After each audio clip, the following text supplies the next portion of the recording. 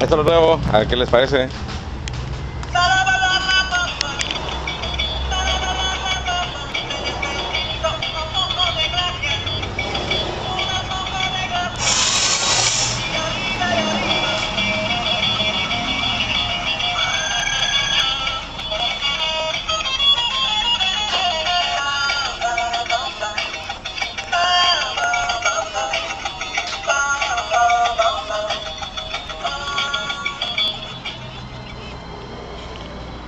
É.